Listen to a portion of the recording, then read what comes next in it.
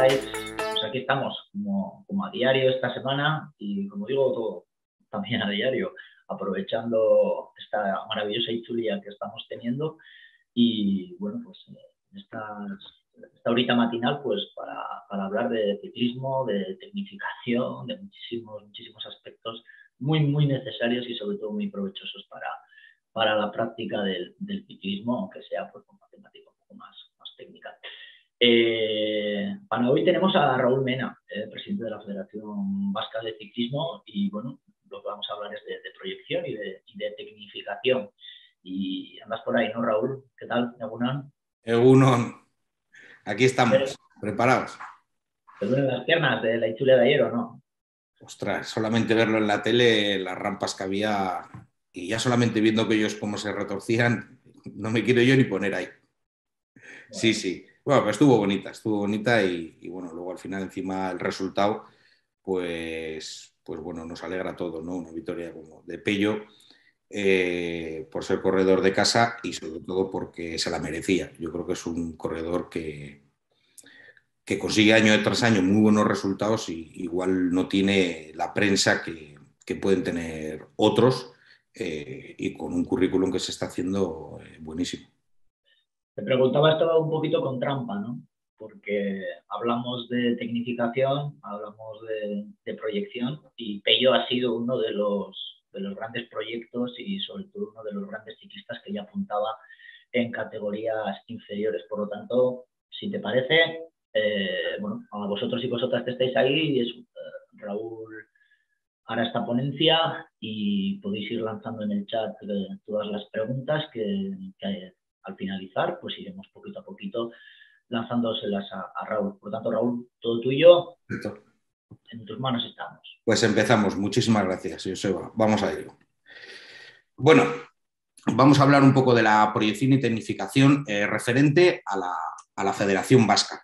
Es un, un aspecto eh, que, bueno, todo el mundo, bien desde sus clubs o bien desde las eh, otras federaciones autonómicas o bien la selección nacional, la Federación Nacional, pues todos intentan hacer un, unos trabajos de proyección y tecnificación. En este caso nosotros nos vamos a, centrar en, proyección y tecnificación, cuál es su desarrollo y cómo se desarrolla eh, a nivel de, de, Federación Vasca. A ver, sí, vamos. Vale, vamos a ir primero eh, centrándonos en, en cada punto. ¿no? ¿Qué es la proyección deportiva? Como rezan los textos. ¿no? La proyección deportiva procura articular y optimizar el deporte, planificando y ejecutando programas dirigidos a fomentar el deporte como herramienta para el desarrollo social. Por lo tanto, la proyección deportiva es eh, lo que es el global ¿no? de la actividad eh, deportiva que, que, se hace desde las, desde las territoriales. Ahí en ese, en ese paquete entra todo, ¿vale? Lo que son las federaciones territoriales, los clubs, los equipos, corredores, diferentes disciplinas, la carretera, pista, mountain bike, trial, todas las que se, se disputen a nivel de, de, lo que hacemos en Federación Vasca, porque hay especialidades pues, que por desgracia no tocamos, o pues yo qué sé, pues el BMX, y que, y que deberíamos de, de, darle su hueco en un tramo no muy largo, ¿eh? y luego todo lo que engloba y lo que hacen esas federaciones, que pueden ser pues, las pruebas de escuelas, de cadetes, de junior y sub-23. Eh, todos esos programas en los que están centrados, pues para que os hagáis una idea, pues centro, cerca de 262 pruebas eh, que han sido más prácticamente inscritas este año ya en el calendario para la temporada 2022 y que ya se va realizando, desde ahí coge desde, desde la base, desde escuelas hasta junior, que es un poco el, el terreno de las, de las territoriales y la, y la, función que hace de actividad deportiva, ¿no? como actividad para todos. A nivel de Federación Vasca ya entran una serie de torneos más específicos en los que se les junta a todos, pues hablando de carretera, que es el, tema de hoy, eh, centrados en, en, en, la Ichulia, pues bueno, los torneos Gastechoa de cadetes, el torneo Euskal Herria para Junior, el Euskaldun y Lendakari eh, sub-23, tocando algunas hasta los eh, corredores de sub-26 años que pueden participar. De ahí, de todo eso que va saliendo, de todo eso que va participando y con todos esos resultados, eh, llegamos al resultante de la gente que puede acceder a la selección de Euskadi, pues bueno, ya con, una serie de criterios marcados por los seleccionadores y comunicados anteriormente, como pueden ser resultados en estos, en estos torneos, en las diferentes generales, o bien los campeonatos de Euskadi, o bien a través de resultados en carreras eh, independientes. ¿no? Todo eso es eh, lo que se mete en la batidora para eh, sacar los resultados, para, para formar los seleccionadores de la selección de Euskadi, que es el siguiente, que es el siguiente paso, ¿no? el de la tecnificación deportiva. La tecnificación deportiva, ¿cómo la, cómo la leemos desde la, desde la federación? Pues bueno, es un proceso de perfeccionamiento y desarrollo en el ámbito deportivo. Desde que se detecta a una persona con proyección para la práctica de una modalidad deportiva hasta, su llegada al alto nivel. Si nos vamos al punto anterior en el que era la proyección, en el que son toda la actividad deportiva que se hace bien desde las territoriales, clubs, eh, y con lo que el resultante que te dé y que entren y sean llamados a la selección eh, vasca en este caso, eh, es donde empezamos con la tecnificación, que es la antesala para llegar al alto nivel. Aquí en este caso están haciendo la imagen del embudo que hemos visto antes, ¿no? De las territoriales a la vasca. Claro, si das el, salto, el siguiente salto, que sería la posibilidad de poder entrar al alto nivel, estaríamos hablando ya de, lo que sería una selección eh, nacional. Ahí es otro embudo, que es a través de las competiciones nacionales. Y de ahí sale la selección nacional, que esos son los que acceden a pruebas o competiciones que te dan eh, la posibilidad de ser alto nivel. O sea, por ejemplo, para llegar a ser deportista alto nivel, pues tienes que eh, participar y conseguir un resultado en un campeonato Europa o en un campeonato del mundo. Ahí ya solamente lo puede hacer a través de la, selección española. Por lo tanto, nosotros tenemos que poner todos los medios y hacer con los recursos que tenemos eh, todas las posibilidades para que lleguen a, ese objetivo, ¿no? que es entrar a la selección nacional para competir, poder competir en esas competiciones y poder resultar ser elegidos para ser deportistas de alto nivel.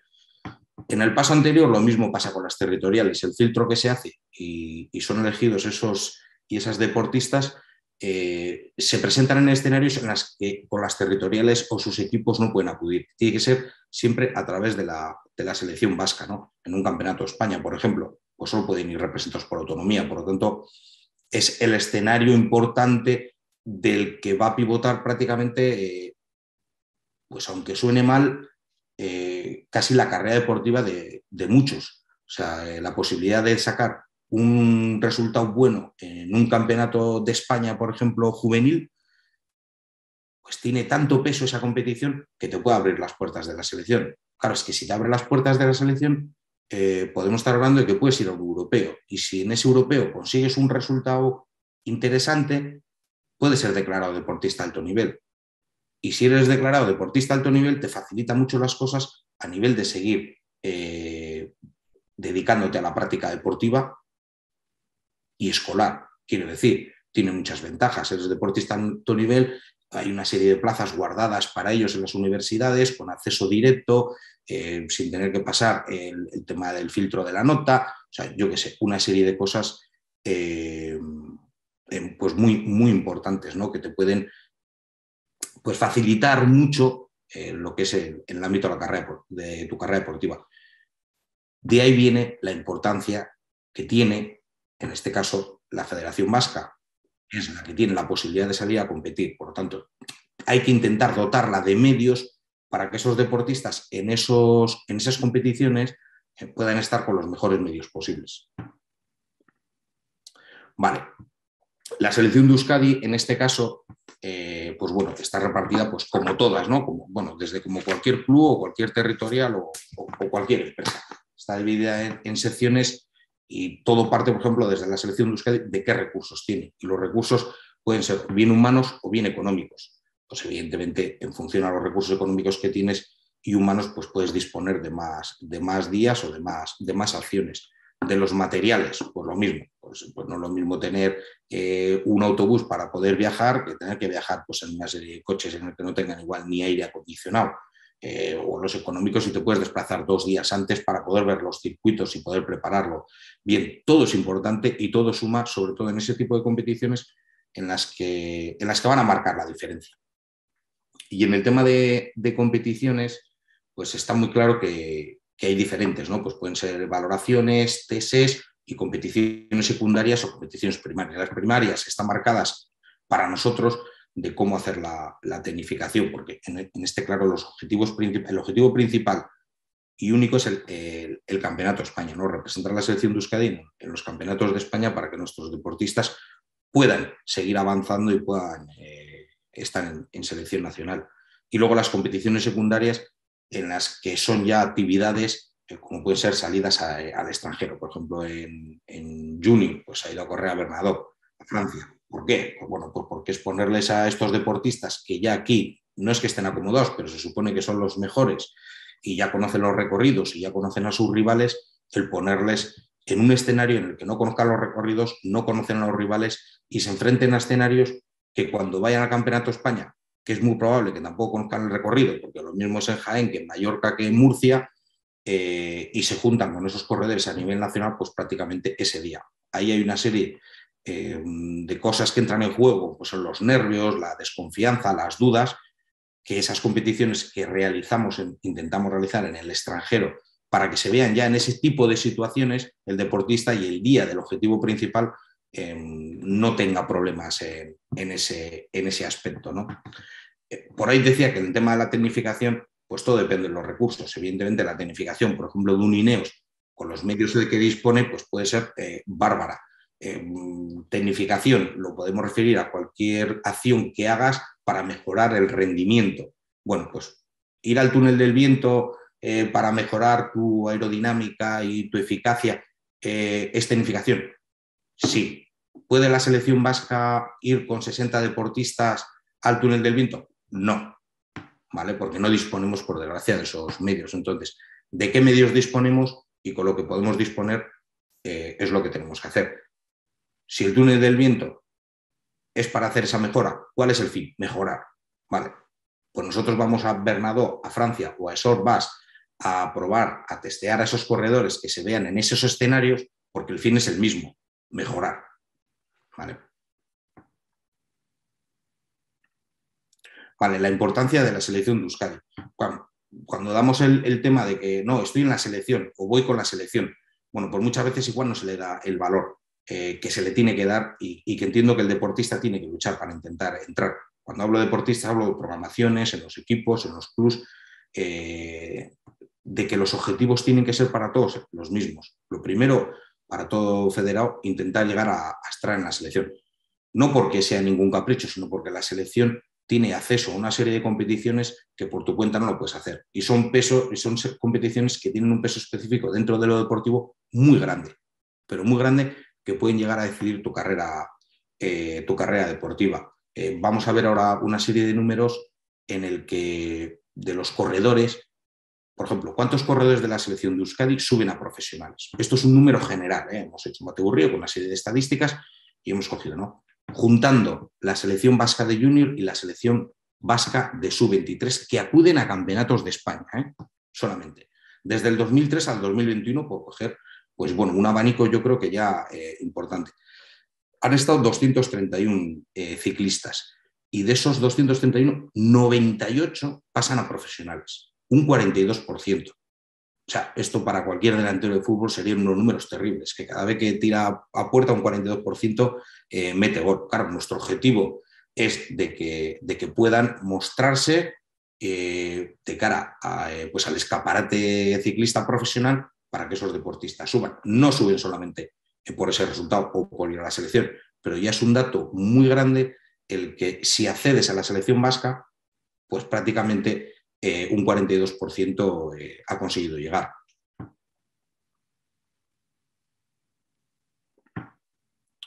Vale, vamos a ir ahora ya a separar lo que son los juniors de los sub-23, ¿no? Eh, de los juniors que subieron a profesionales desde el 2003 al 21 fue un 32% de los 123 eh, que han pasado por la selección. Y pasan 39 y se quedan sin pasar 84.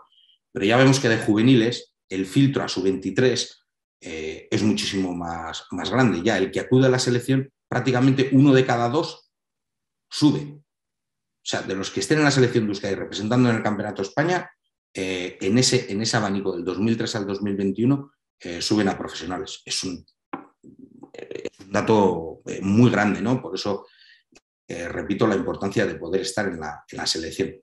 Ahora vamos a partidas más pequeñas porque aquí van a, influyen ya un poco cosas, ¿no? En el tema de los juniors no tanto, pero en el tema de los sub-23 sí. Pero bueno, esto ya es un poco por ir recogiendo eh, camadas. Selección de Euskadi de 2003 a 2005, pues un 69% llegó a ser profesional. Del 2006 al 2010, un 34%. Del 11 al 15, un 30%, y del 16 al 21, eh, un 18%. Bueno, pues son números indicativos en el junior que, bueno, pues hay que estar ya. Pero claro, todos los que están no quiere decir que vayan a llegar. Hay camadas muy buenas que llegan un número muy alto, pero ya vemos que hay camadas que, bueno, pues que, es más difícil luego porque pasan al campo sub-23 y ya va a depender de, muchas más cosas.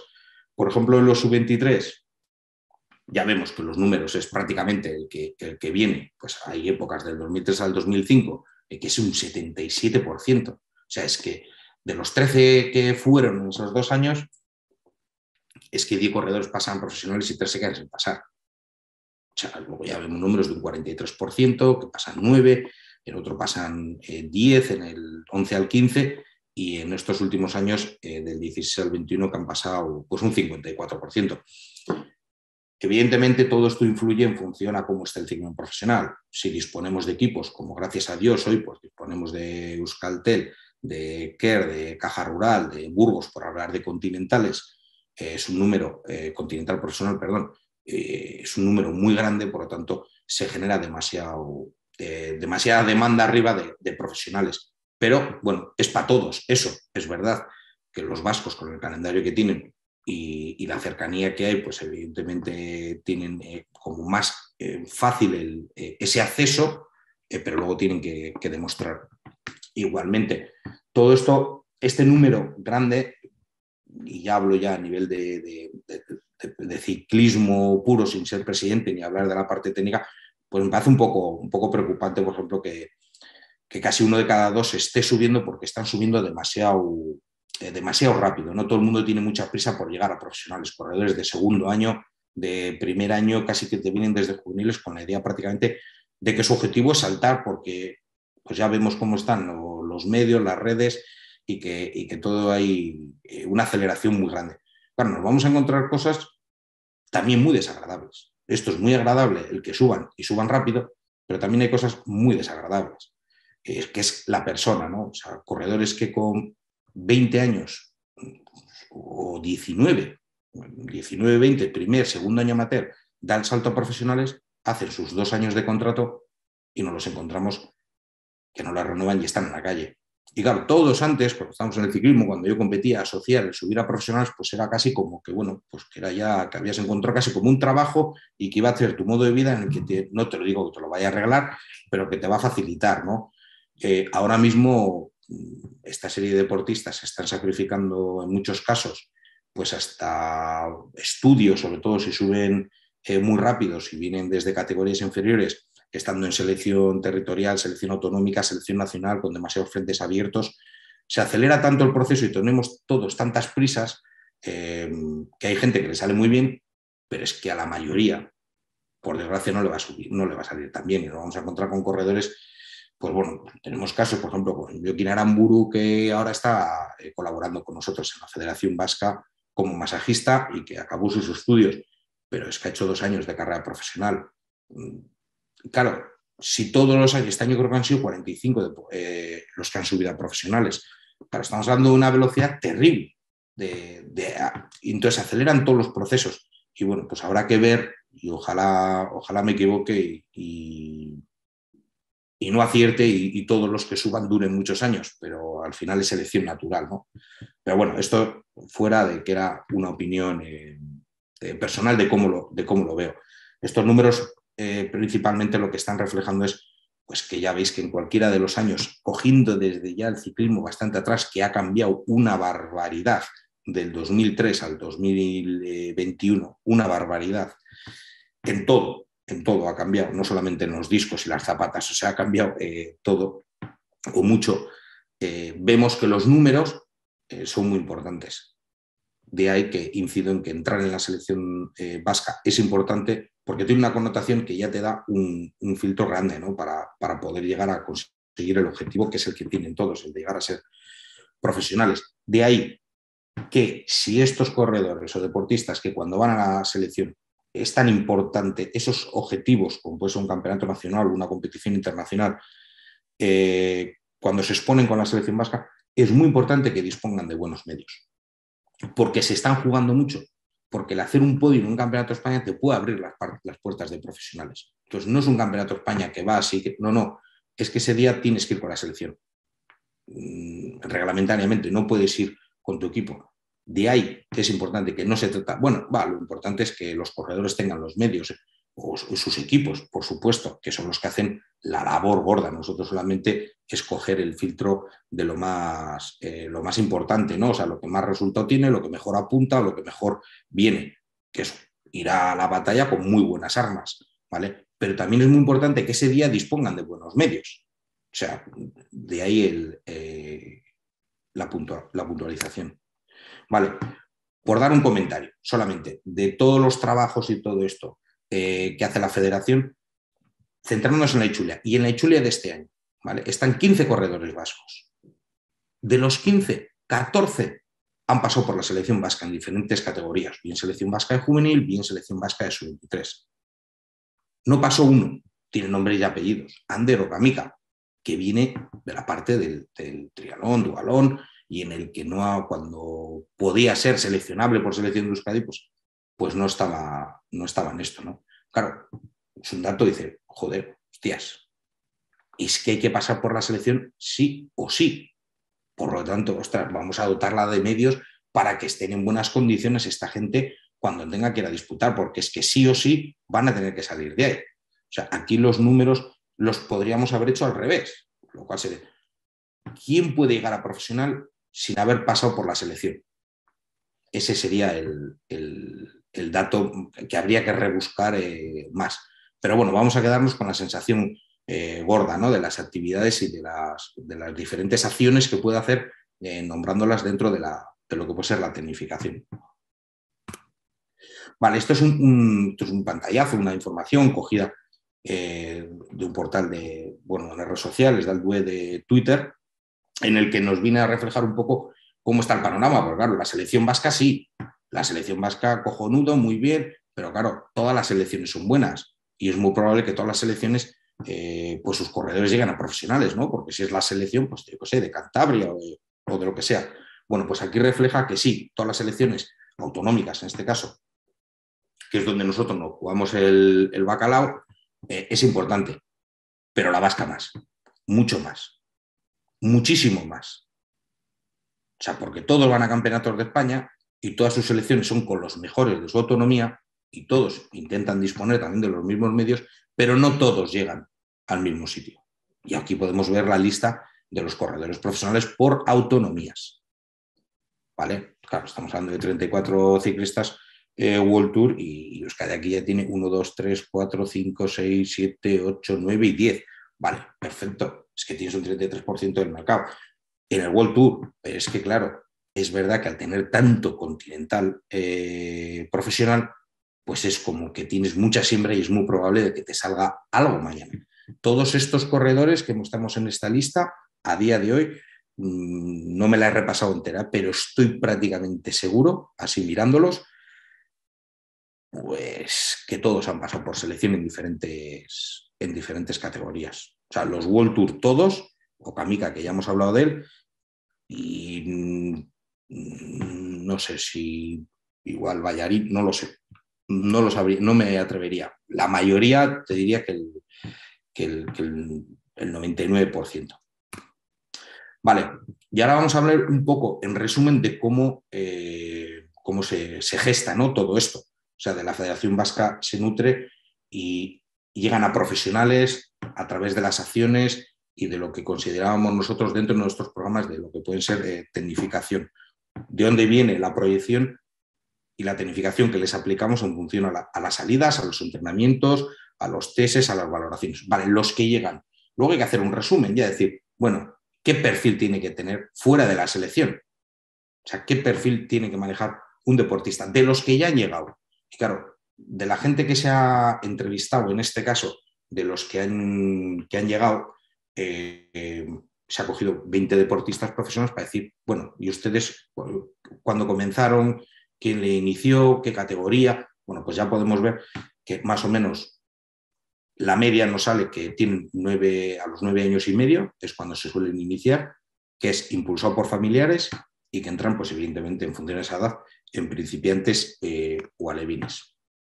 En la categoría cadete, entre 15 y 16 años, vienen a hacer una media de 4.875 kilómetros. ¿vale? La mayoría compagina el ciclismo con algún otro deporte. Vienen a entrenar esas categorías, la mayoría de manera no programada, no realizan serie y suelen entrenar con compañeros. Y suelen obtener ocho victorias y media eh, al año, de media, en categoría cadetes. Estamos hablando de corredores que han llegado. Cuidado, eh, no perdamos el rumbo. Corredores que ya han llegado. Quiere decir que si han llegado y están en World Tour, cuando eran cadetes o cuando se iniciaron, tenemos que retroceder en torno a entre casi pues 10, 12 años de media, ¿vale? Por ahí. Pero no nos puede, no nos puede quitar la razón, decir, bueno, es que esto es hace 12 años. Estamos hablando de corredores que hoy estén en World Tour, que están en World Tour en torno a los 27 años y casi desde que se empezaron hace 15 eh, años. Por lo tanto, estos los datos que tenían ellos. O sea, claro, son datos de, bueno, 4.800 pues, kilómetros, me parece poco. ¿Y no tienen entrenador? Pues no, porque es que hace 15 años no se tenía. Yo salía con mi equipo, con mis amigos, y, como yo era muy bueno, pues tampoco tenía que entrenar mucho. Y ganaba ocho carreras al año. Y encima, como soy bueno eh, físicamente, porque para llegar a un World Tour tienes que ser bueno físicamente, pues lo más normal es que el colegio hagas bien todos los deportes y te apunten a todo. Y encima seas pues, casi el capitán del equipo, todo, ¿no? En categoría junior nos venían datos todos estas medias, ¿no? Pues bueno, que compaginan los estudios y el ciclismo, y cosa que puedo decir eh, que, que no en todas las autonomías es así, por desgracia, pero aquí sí que hay una cultura de, compaginar los estudios y el ciclismo eh, hasta, bien, hasta bien la categoría eh, bastante alta, ¿vale? Cosa que en otras autonomías hay, bueno, pues pues bueno, con los deportistas que me ha tocado a mí tratar en la anterior época mía como seleccionador nacional de pista, pues tenía juveniles de, todo el estado y, bueno, pues te encontrabas con casos que, pues que, bueno, que los vascos venían a la concentración y tenían que preparar selectividad y había otros pues, que no, no tenían que preparar selectividad porque habían dejado ya los estudios hace eh, dos años y estaban centrados a ser ciclistas, sin más. Eso ya son cosas eh, de casa vienen a hacer una media de 8.700 kilómetros, venían, y hacían en esa época. ¿eh? ¿vale? La mayoría sigue sin entrenar de forma programada y sigue con el mismo protocolo de, juveniles. Vienen a competir una media de 33 días, que creo que está eh, muy bien, y siguen ganando nueve victorias de media al año. Claro, estamos hablando de los, de los capitanes, capitanes, de los, de los 25 o 20 que han estado en, esta, en estas estadísticas.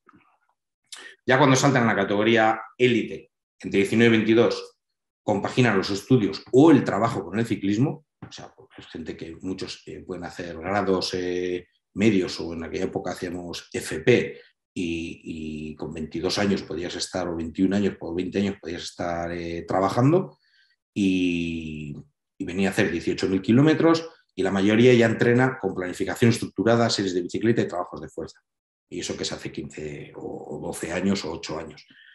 Con 40 días de competición al año eh, y 9 victorias eh, al año de media. Esto es el, perfil y el eh, que nos dan los que llegan a World Tour y a profesionales. Entonces vienen con 20, 20 años, casi los 21 años de media es cuando saltan a profesional.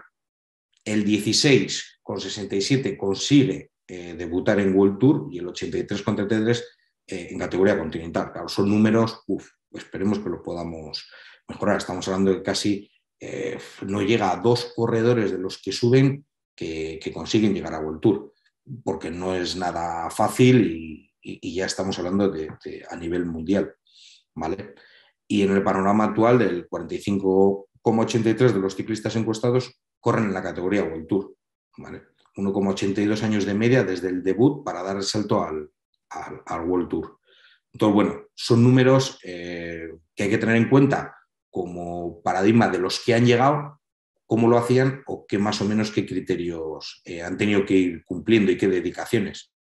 por supuesto que todo eso va evolucionando y hoy, no sé, me cuesta creer que haya un cadete o que haya un juvenil, un juvenil seguro que no, un cadete ya hay, ya tengo mis dudas, habrá de todo, eh, pero un juvenil que no lleve, no tenga un entrenador, no lleve un programa específico, eh, no me lo puedo creer. O sea, ahora viene todo muchísimo más adelantado. No hay, es muy difícil encontrar corredores que te ganen una media de nueve carreras. O sea, entonces ahí tenemos, tenemos serios, serios problemas.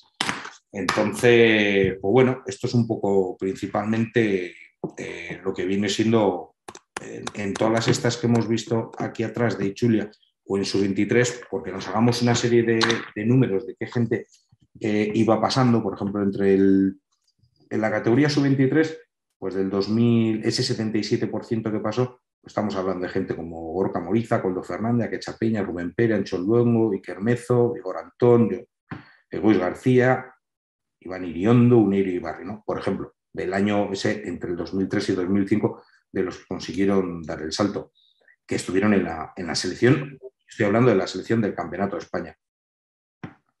En, el, en, la siguiente del 2006 y 2010, pues ya gente como Miachi Chausti o Jonathan Castro Viejo, es lo que, lo que más destaca de los que han llegado. Estuvieron Egois García, ¿no? En La Fuente, Sergio Delis, ya están también Miquel Vizcarra, Gael Bravo, Miquel Landa, Johnny Zaguirre, Igor Merino, Pello Bilbao, Marc Freile, eh, estamos hablando de corredores que, bueno, pues fíjate, en el 2010, ya es que son hace 12 años, cuando Pello estaba en la selección sub-23 y ganó ayer en Chulia.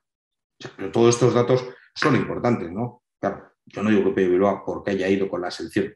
No, no, por supuesto que no. Pello Bilbao desde juveniles ya estaba en la selección y era buenísimo y es un fenómeno, y, pero es importante que, por ejemplo, Jonathan Castro sí que recuerdo pues, que hizo medalla de bronce y sí que estuvo en los campeonatos del mundo. ¿vale? Entonces, pues, pues, bueno, luego ya en el 2000, la siguiente escala entre el 2011 y el 2015, pues ya tenemos gente que repite, pues como Ari Chorbe, como Imanol Esteve, como Peo Laverría, Jonan Derinchowski, Peyo Boicochea. Y en las últimas ya, pues ya tenemos gente como Johnny Sarri, eh, pues Johnny Aramburu, Miquel Alonso, Unai Cuadrado, Íñigo Losegui, eh, Oyer Lazcano, Unai Iríbar, eh, Isasa, Gocho Martín, Juaristi, eh, Azparren, Ivonne Ruiz, gente que los estamos empezando a oír ahora, ¿no? Entonces, pues bueno, al final toda esta gente ha tenido que pasar por la, eh, por la selección y ha tenido que de esas oportunidades que yo creo que la gente lo que tiene que hacer es, eh, pues eso, ¿no? Lo importante que es poder estar en la, Federación Vasca, en la selección vasca, los días de esas competiciones que, pueden llegar a marcar tu carrera deportiva. Principalmente era, era eso. Y de lo media hora que me han dado para, explicar esto y antes de que entremos en, diversas cosas, pues eso es prácticamente lo que tengo. Por lo tanto, muchas gracias por vuestra atención y ahora mismo todas las preguntas que tengáis, pues las podemos, las podemos atacar. Muy bien, Raúl. Es que ricasco. Bueno, yo, dentro de toda esa valoración, de todos esos... Eh, esa valoración rápida. Sí, una, rápida. creo, creo, que, creo que, sobre todo yo creo que hay algo, algo importante y es eh, la referencia, ¿no? Yo le doy mucha importancia a los, a, los referentes y creo que de la misma manera, y esto ya es una opinión personal, que de la misma manera que para, para los chicos y chicas eh, los referentes, como, puede ser el caso de, de Pei Bayer, los hermanos Izaguirre, Miquel, toda esta gente. Eh, yo creo que también, eh, me imagino que para vosotros también a nivel de tecnificación, el, tener esos corredores ahí eh, tiene que suponer un, trabajo, una, un, digamos, un heredar. ¿no? En, tu caso ahora como, como, como bueno, nuevo responsable, pero han pasado muchísimos años, ¿no? Hablabas de esa, teníamos que retroceder muchísimos, muchísimos. Ahí, ajustar eso en cierto modo es complicado. Es decir, eh, si barajas números o, tendencia que va bien, ¿cómo se puede hacer eso? Es decir, ¿cómo se valora todo eso en el caso de querer meter alguna innovación o querer descartar alguna? Estamos hablando de muchísimos datos y yo creo que hilar fino en esa programación tampoco tiene que ser fácil. Mm, no, no es nada fácil. Sobre todo porque eh, eh, lo, que, lo que tú has dicho está claro. Los referentes y los que son referentes lo hacían como hemos visto. Entonces, con la gente que tienes que trabajar eh, es, no, no, si nosotros hacíamos esto y mira dónde han llegado. Correcto, pero es que lo que se hacía hace 15 años hoy no vale. Entonces, tenemos que adaptarnos. No vale con correr aquí, tenemos que salir a correr fuera, tenemos que enfrentarnos a otro, tenemos que, tenemos que evolucionar, tenemos que ser mucho más disciplinados en, en una serie de cosas. ¿Por qué? Porque nuestros rivales lo están haciendo. Entonces, no vale. Y el problema que está hoy no es el problema, que es que la gente que está y que ha sacado esos deportistas y esos clubs, es que nosotros lo hacíamos así y funcionaba. Por supuesto, es que entonces no hay que cambiar nada, es que de aquí han salido grandísimos profesionales. Si no lo digo yo, lo dicen los, los números, pero no podemos seguir haciendo lo mismo que hace 30 años. ¿Por qué? Pues porque no nos va a dar los mismos resultados que hace 30 años. Entonces, eso no es nada fácil, sobre todo con la gente a nivel general que tienes que trabajar, porque nosotros al final, para cuando llegan a la selección de Euskadi, claro, es que eso depende de, la labor de los, de los clubs, de las familias, de, de las territoriales. Es que todo el mundo es importante, no es la vasca, la vasca es ya lo que recoge. Ahora, el día que vengan a la vasca, que dispongan de los medios para ponerlos en la parrilla de salida en igualdad de condiciones que sus rivales y a ser posible mejor. ¿Vale? Pero dependemos de, que el muñeco, entre comillas, ya nos viene, nos viene hecho, nos viene con unos vicios, y nos viene con una educación, y nos viene con un sistema. Y tú intentas decir, oye, mira, yo he estado, me ha tocado, por suerte por desgracia, hacer copas del mundo, mundiales, ver otra serie de gente de otras culturas, de australianos, rusos, eh, sudamericanos, americanos. bueno, hay otra gente que, es, que trabaja de forma diferente. No quiero decir que haya que imponerlo, pero decir, mm, cuidado que allí lo están haciendo de otra manera que les está dando resultados. Entonces, eso cuesta, eh, cuesta cambiar o cuesta adaptar a una cosa que ha dado tan buenos resultados eh, antiguamente. Yo hay algo que sí que valoro como, digamos, dentro de ese cambio, eh, independientemente del número de, participación en muchas, muchas carreras, quizás nos estamos yendo también a esa referencia de lo que ocurre fuera, ya no solamente en otras comunidades, sino incluso en otras nacionalidades.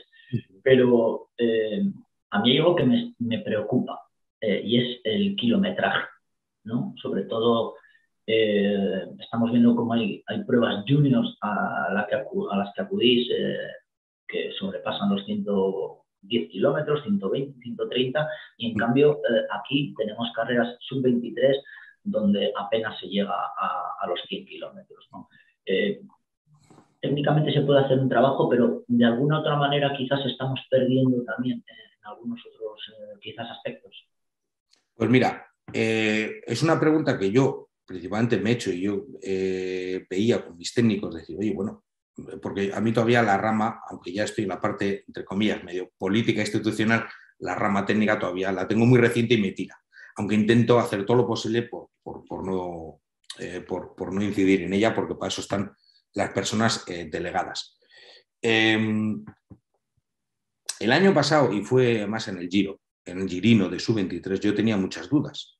Y hay un corredor, pues, que todo el mundo sabe, pues, que tengo una buena relación con él, con una Iribar, lo tenía de, juveniles en la selección nacional de pista, y bueno, pues le sigues, ¿no? Y decía, joder, pues aquí corriendo una de carreras de 100, por ejemplo, el laboral que estaba ya haciendo un grandísimo giro, esto se les hará pelota al final, joder, 10 días, estas kilometradas, llegará un día que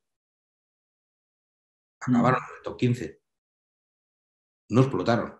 O sea, yo dije, hostia, pues, pues esto ya no, no sé, aquí esto se supone que es que lo que entrenas eh, es lo que eres capaz de desarrollar. Eh, si comes cebolla, cagar cebolla, o sea, sin mal dicho. Dices, pues bueno, habrá que hacer carreras más largas. Y luego a nivel interno nosotros, de federación. Bueno, ¿cómo podríamos cambiar? Podemos hacer carreras, tenemos que hacer carreras más de mayor distancia, que nuestros corredores estén mejor preparados para esos momentos.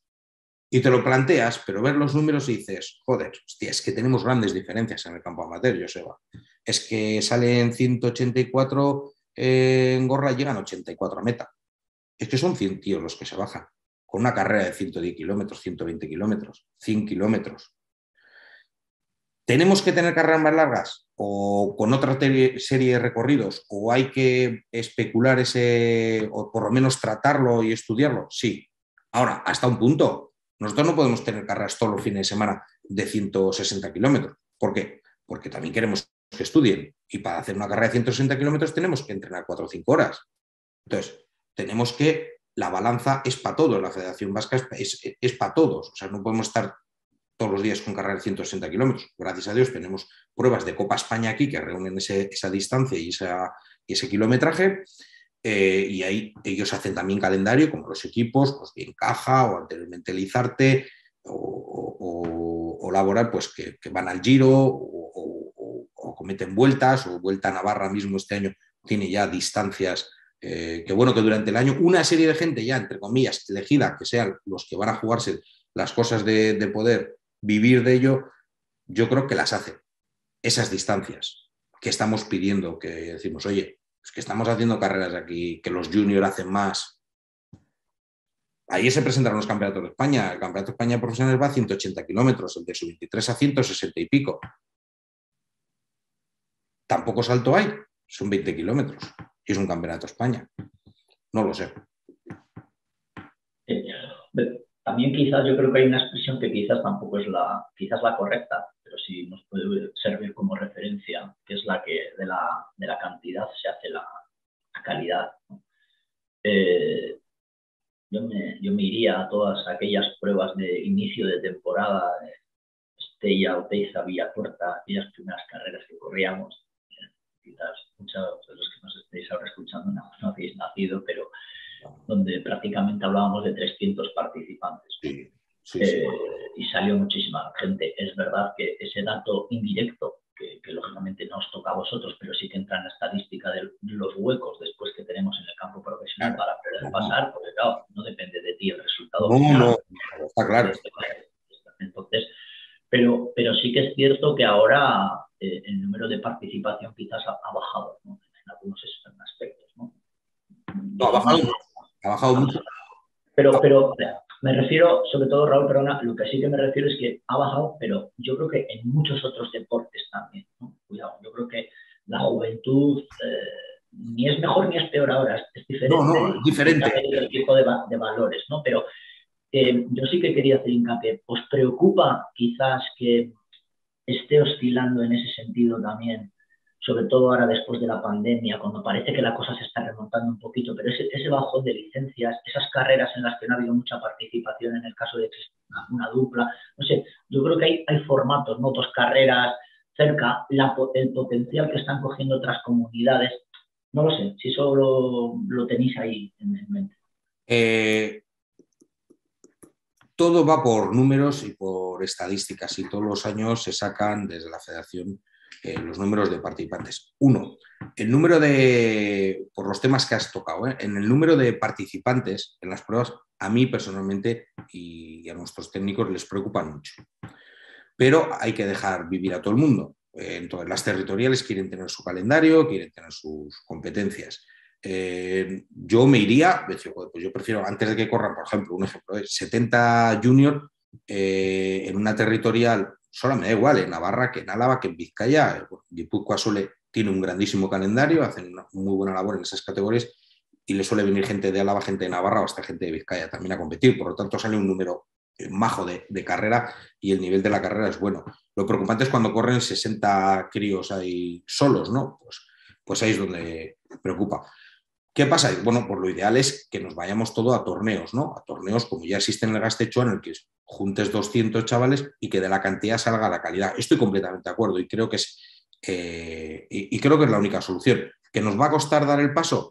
Eh, sí, pero que también tráfico se ha dado cuenta de ello y que nos va a ir acotando, que no te va a dejar hacer una carrera en Eibar con 60, en Durango con otros 60 y en Amurrio con otros 60 el sábado a la mañana. O sea, te va a decir, oye, vayan juntándose y monten una carrera. ¿Qué pasa? Que necesitamos a los clubs para que, que, se sujeten y muchas veces para que sujeten, se sujete el club es con la carrera. Entonces, claro, bueno, las cosas van cambiando, como bien dices, cuando corríamos. yo me acuerdo de correr en Campeonato Euskadi en Balmaseda, cadete, 600 niños. O sea, eso es impensable. Bueno, de hecho, que te lo marca la UCI con 200 de límite. Pero claro, antes solo íbamos a la Copa Vasca 50 por autonomía, Joseba. O sea, por territorial. Pero es que no pasaba nada si no ibas. ¿Por qué? Porque tenías carrera también en Álava o en Vizcaya. Yo me quedaba una carrera de Vizcaya cuando había una Copa Vasca en Yodio. Eso es imposible. Ahora hay que librar el calendario de que no se pisen. ¿Por qué? Porque si van a la Copa Vasca, que hablamos de Copa Vasca, que yo se y yo la corríamos, pero era, es el Euskal Herria de hoy. Eh, no, no, podría, no quedaría número para participar en el, otro. Y en cuanto a la bajada de licencias, eh, no, le, no, hay una relación eh, la bajada de licencias con competición. La bajada de licencias viene eh, por el número gordo de cicloturismo. como ya sabes, con la licencia se ha montado mucho ruido por el tema del precio, del seguro y de todos estos temas, y no, no hay que obviarlos. Vamos a bajar número de licencias, vamos a tener menos, menos ingreso para, para poder eh, disfrutarlo en, este tipo de, actividades o de recursos. Pero no en la competición. El, de la competición eh, se tiene que ver obligado un poco a sacarlo, eh, la licencia. Entonces ahí no le guste más o menos, pues bueno, o esté más o menos de acuerdo, pero ese se la saca. Ahí no tenemos una bajada en número de, licencias. Déjame, déjame, perdona, déjame que sea ahí un poco. Cuéntame, eh, porque eso es una, algo que también me, te voy a decir que me ha preocupado a mí, pero sí que en realidad quiero, eh, quiero que me expliques ese salto que, en cuestión de, económico ¿no? que, habéis tenido a la hora de, expedir las licencias este año. ¿Qué ha, qué ha ocurrido? ¿Qué ha ocurrido? Hemos tenido, bueno, hemos tenido mucho ruido muy desagradable porque se daba una sensación de que, bueno, que nosotros subíamos la licencia porque a nosotros nos daba la gana o porque la Federación Vasca se quiera quedar eh, con, con, dinero o con más dinero. O sea, es verdad que no puedes ir explicando uno por uno la situación, ¿no? pero bueno, eh, en datos generales y para que se pueda eh, todo el mundo entenderlo, la licencia se compone de, cuatro apartados. ¿vale? Y ahora mismo vamos a poner que son 160 euros de, licencia. Bueno, pues es una licencia cara y en esos, en esos cara paloquera, que venía de valer pues 135, ha tenido una subida de, 25, de 25 euros, que ya sufrió esa misma subida, pero de 95 a 120 en el 2014, 2015. Y esos 25 euros de subida son íntegros del seguro. Y el seguro sube por la siniestralidad que haya. Nada más. Y la siniestralidad no la da la federación. Por desgracia, es el cicloturista, el deportista, el federado, el que por desgracia tiene. Tiene caídas y esas caídas, eh, si tienes, que lo podamos entender, el seguro de la casa y tienes un parte que se te ha inundado, pues al año siguiente te sube. Si tienes un golpe con el coche, el seguro del coche te lo suben. Ya está. Con la única diferencia que aquí, durante los años, aunque no tengas golpes, tampoco te bonifican. Yo no he conocido nunca jamás que la licencia baje, ¿vale? Pero de esa licencia, esos 25 euros, íntegros de los 135 que valía a los 160 que valen son del seguro. El otro son 6 euros que van para la española y del resto que son las tasas de las federaciones territoriales y federaciones vascas.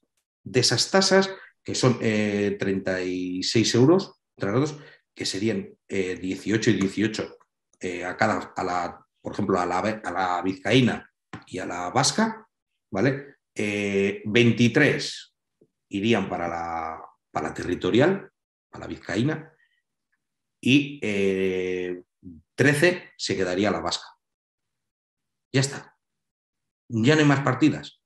Estamos hablando de que son 116 euros la parte que va para cubrir el seguro.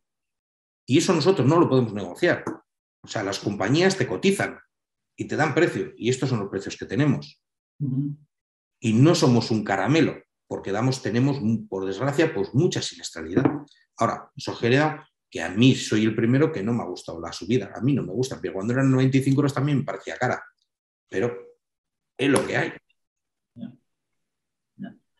Oye, eh, Raúl, volviendo un poco a la cuestión técnica, a mí, y eso también como, como técnico, sí que hay algo que me, no te voy a decir que me preocupa, pero sí que me gustaría ¿no? que, tratar.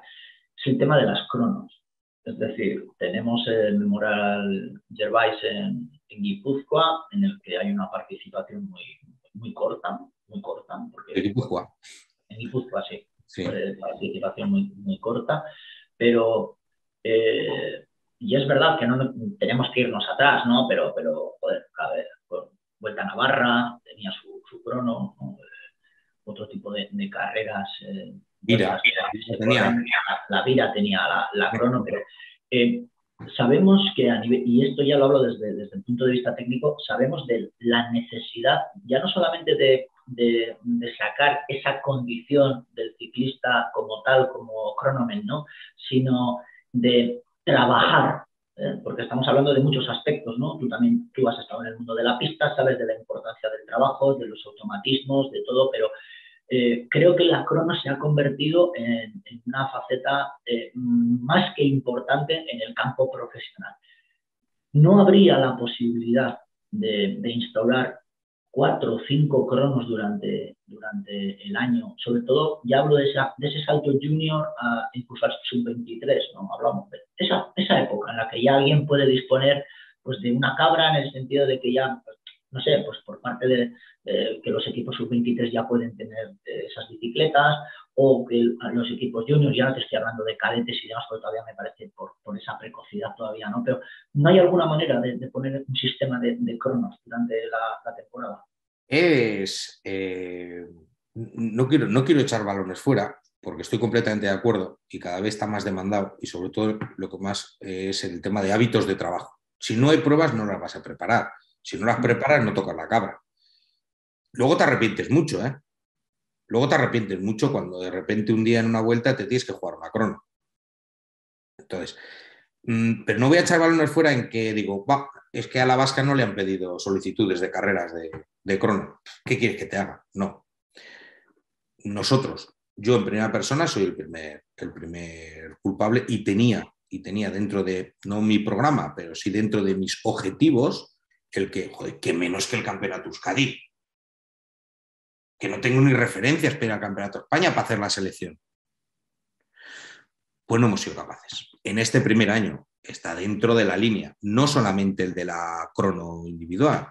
Mi intención era hacer crono equipos y crono individual y hacer un día de crono, pero claro, pero un día de crono para todas las categorías, campeonato Euskadi, cadete, juvenil, tal, todo mañana tarde en un sitio, un recinto, un circuito cerrado que ojalá Sabemos que es lo ideal, lo ideal sería que sería un circuito siempre el mismo para tener temas de referencia, como es el Herbite desde hace muchísimos años, que es el mismo escenario y te vale para saber de qué tipo de corredor estamos, estamos manejando y si vamos con opciones a un nacional o no. Pues bueno, pues ya Parra en el año pasado eh, hizo casi, yo creo que el récord en el de en el Herbais, pues ya sabes que vas con una persona que, ole, ole, ole, que tenemos que estar arriba, pues hizo bronce. ¿Vale? Tienes. Ojalá tendríamos ese, eh, eso que, no lo disponemos. Y hoy cualquier corredor que quiera llegar a ser profesional y querer intentar estar disputando lo más pequeño que sea una vuelta, o, va bien en crono. Sí, sí. No, es que a, eso, me refiero, ¿no? Porque eh, es verdad también que estamos en, una comunidad en la, cual, eh, en la cual se le da mucha importancia al tema de la subida, ¿no? vale, o sea, Aistondo es maravilloso y tal, lo de las referencias, sobre todo sub-23, ¿no? Gorla va a ser siempre una referencia, eh, pero siempre intentamos tener esa, esa subida, ¿no? Eh, hablo ya de junior, en este caso junior sub-23, ¿eh? ¿Vale? O sea, siempre intentar tener la, la trampita y, y demás, ¿no? pero eh, quizás eh, yo creo que hay corredores, yo estoy convencido que hay corredores que no pueden desarrollar todo su potencial primero porque eh, primero por el desarrollo a nivel físico personal todavía de, que, son, de que son niños, con 17 años hay, hay hombres y hay niños, ¿no? Pero luego sobre todo pues porque tampoco les ayuda. Es decir, yo estoy convencido que hay ciclistas que si corriesen en Valladolid pues eh, desarrollarían sus facultades de otra manera y, ojo, cuidado, igual estamos hablando que, son corredores, eh, esa, metamorfosis de los británicos, ¿no? Con la gente de la pista, que quién iba a pensar que, eh, corredores como Jeremy Thomas, que Wiggins y demás iban a llegar hasta donde han llegado, sobre todo con los objetivos que tenían a nivel de la pista. Entonces, eh, nos estamos obcecando un poco en eso y yo al tema de la crono le doy su importancia. ¿Tenemos grandes escaladores? Sí. ¿Que ha pasado grandísimos escaladores por el calendario vasco? Sí. ¿Ves el otro día Gorla? Maravilloso. Castrillo, 19 15, un tiempazo de, miedo en Gorla. Hay nivel. Sí, sí. Pero no lo sé. Eh, a mí me gusta. Es que, voy a lo de antes. Es que estamos en lo de antes. Es decir, eh, estamos viendo que en vez de mirar para adelante, es decir, hay que cambiar. El riesgo de cambiar, unos, es que no gusta salir de la zona de confort y cambiar, y otros que tampoco te está dando eh, la seguridad de que con ese cambio vas a conseguir algo. Y como es a muy largo plazo, mm, te quedas por el camino. ¿Te quedas por el camino? Al final te han tirado tanta piedra igual que te has quedado por el camino. Claro, dices, ¿cuánta cronos hacía antes? pues hemos tenido al campeón del mundo, crono. Abra Nolano. A este no le ha hecho falta hacer que tendría 6, 7, 8 cronos en su esto. Entonces, claro, y eso, pues tampoco ha hecho falta y ha quedado campeón del mundo. Y eso te tira por tierra. Eso acaba. Y, no podemos seguir viviendo con lo que hacíamos, que daba resultados, porque ahora mismo no vamos, no tenemos que ir a competir contra los mismos y es gente muy preparada y muy trabajada desde categorías inferiores, sabiendo lo que va a hacer, sabiendo lo que va a hacer. Entonces, luego está el fenómeno. El fenómeno te arregla todo tipo de números y estadísticas. da igual, hagas lo que hagas. Yo no me puedo poner a pensar en, el fenómeno, porque el fenómeno, si tiene que salir, sale. Entonces ya está. Ya está. Yo estoy hablando de la norma general. ¿Euskadi se puede permitir el no tener un campeonato de Euskadi de control individual? No debería. No debería. Ahora, eh, ahora, perdona, Raúl, ¿qué es lo que más te preocupa ahora mismo? En este aspecto y desde tu puesto ahora mismo? Pues, hombre, los pocos recursos que, de los que disponemos. O sea, los pocos recursos porque, ya te digo, quizás es porque venir desde donde vengo, no te digo que todo el campo es orégano, pero eh, hay medios. Hay medios. Y yo conozco autonómicas que disponen de muchísimos más medios, que tienen centros de tecnificación, que nos han adelantado por la derecha y por la izquierda y nosotros seguimos diciendo que no, porque somos vascos y aquí esto casi se inventó aquí y, no. Nos han adelantado y nos han adelantado y ya no somos la referencia. Sí, somos los que llenamos la cuneta y los que estamos ahí, venga y venga, por, porque hay mucha afición y gracias a todos esos clubs y a todos esos organizadores y a todos esos equipos, pues saldrá gente. Pero no porque lo estemos haciendo excesivamente bien o dispongamos de los mismos medios que disponen eh, otras autonómicas. por ejemplo, Valencia tiene cantidad a través de las fundaciones, tiene Alfonso, Proyecto FER, eh, Centro de Tecnificación, pista en carretera, eh, Baleares tiene la EVE, que desde, es verdad que allí tienen sus islas y los centralizan todos en categorías inferiores, pero estudia, o sea, estudios y trabajo, estudios y bici a la vez, desarrollados con los mismos monitores, residen en residencia, tal que no vas a hacer con todos eso, porque no tenemos distancias, pero sí tener que menos que tener un centro de tecnificación, de referencia, con técnicos, con materiales. Somos Euskadi, diciendo que somos los jefes de la barraca, que tenemos unos presupuestos irrisorios. Está bien hacerse la foto, pero, pero para hacer la foto hay que poner primero un poco el decorado. Entonces, pues se va como se va. Y bueno, pues es verdad que al que nos esté escuchando dirá, pues joder, pues esto no es lo que parece. Pues bueno, pues Joseba en este caso es el moderador y casualmente, y sin entrar a colación, pues el año pasado tuvo que estar en los campeonatos de España de cadetes por, por temas de, que disputaba su hijo. Bueno, pues Joseba pudo ver los medios que dispone la selección. Claro, una federación vasca no tenga unas carpas en condiciones o no tenga unos vehículos en condiciones o un material en, en condición, pues por ahí hay que empezar. Por ahí hay que empezar. Eso es lo que más me preocupa, el tener medios. Y ahora mismo, eh, ¿el escenario cuál es? ¿Hemos tocado la puerta y no se abre? ¿O por lo menos ya estamos sentados en una silla y estamos, en diálogo? No, no, no. En una silla eh, ahora mismo vivías, pero no suelo estar. Y esperando tampoco. Soy bastante eh, crítico y autocrítico autocrítico.